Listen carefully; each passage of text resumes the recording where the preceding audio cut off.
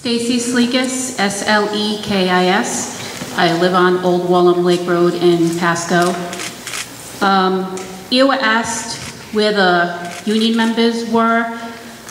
They're probably at home, they've probably had dinner, they've probably had a few cocktails, and they've probably tucked their children into bed, unlike many of us. Right. Mr. Sabitoni, um, something just has to be said. Instead of enlisting your members to fill the seats and take our parking spaces, maybe that time may be better spent with a course in social etiquette. Ma'am, please direct your comments to the chair. So I thought about what I wanted to say this evening that hadn't already been said.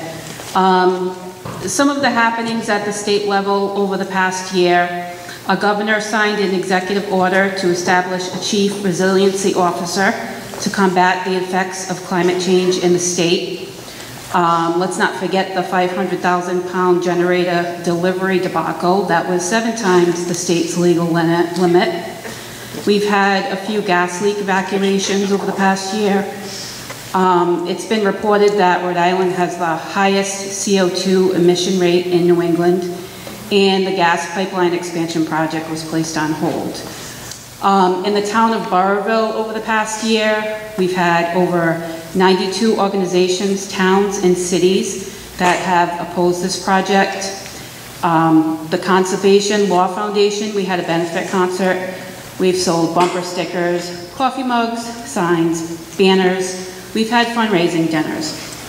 We've had countless town council meetings where we spoke, numerous public hearings, um, several learn the facts sessions by Mr. Paul Roselli. We've done news interviews, three-day hikes across the state to raise awareness. Um, RI Future, Steve Ahlquist, has been covering this nonstop, as you can see.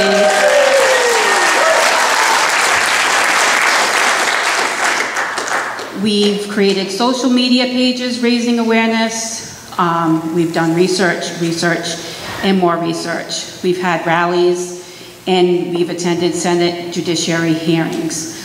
Um, we even have a few new town council members as a result, and also a candidate for governor, Mr. Paul Roselli.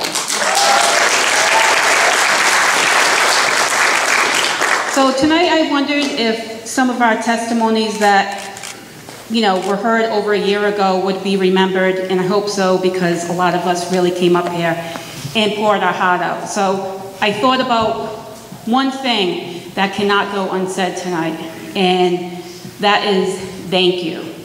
Thank you to all of the residents who put their lives on hold to be our power plant warriors and fight for our town. Thank you, ma'am. Bill